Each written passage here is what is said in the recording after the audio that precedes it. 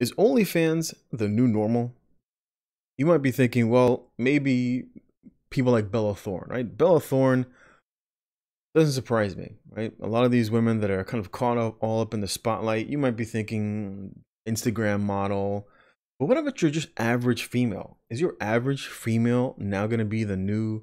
Is that going to be where you? Is that where you're going to find her? Are you going to date a girl who for example, like this young lady right here, a promising young mechanic at Honda dealership in Indiana, was fired from her job after management learned she was making amateur porn.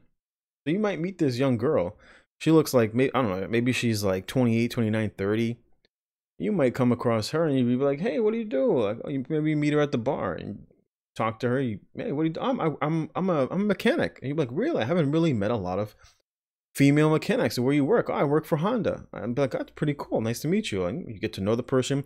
You come to find out she's doing amateur porn online. this is like, this is what, this is what you have to look forward to.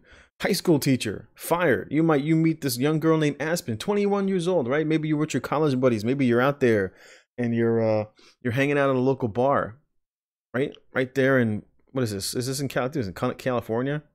Former Covington High School teacher, abruptly let go from her job this week after the headmaster came across her OnlyFans account. And how he came across that account is an entirely different story.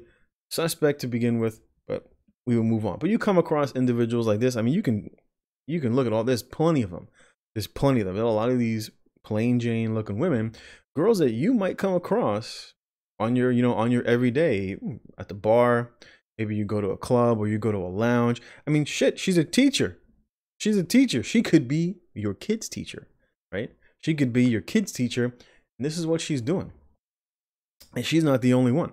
There's plenty of them out there. I actually came across this because I was on Instagram and I used to follow uh, VIP Nightlife, which typically does they used to post a lot of information about where basically what lounges were were good for the night and of course came across yet another high school teacher. This one, of course, in California, age 26, fired for creating.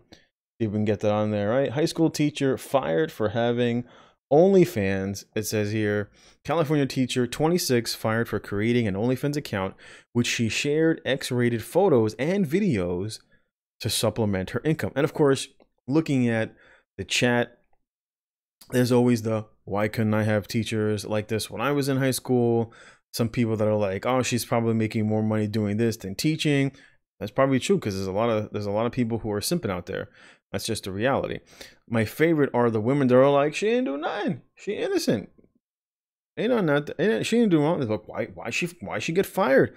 But she's innocent. And of course, someone with the hashtag WAP, right?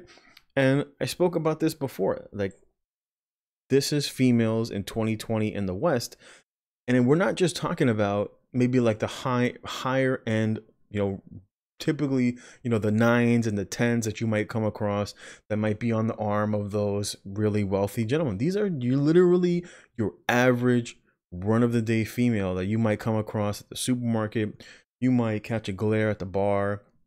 Someone you might come across at a parent teacher conference and this is what they're doing.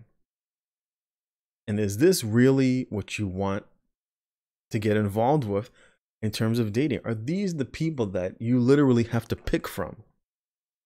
The sad state of dating in the West 2020.